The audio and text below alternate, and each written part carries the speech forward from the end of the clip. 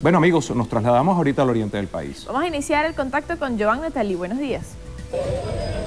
Buenos días desde el centro de la ciudad de Cumaná. Amanecemos en el estado Sucre, donde trabajadores del Instituto Autónomo Municipal de Saneamiento Ambiental solicitan se les cancele los pasivos laborales que se les adeudan desde el año 2004. Señalan que no cuentan con las condiciones óptimas para realizar su labor diaria. No se les ha dotado de uniformes y las unidades con las que cuentan son insuficientes para cubrir la demanda del municipio. Entre otros de los reclamos se encuentra la ausencia del vaso de leche diario necesario para desintoxicar su organismo de los gases que inhala.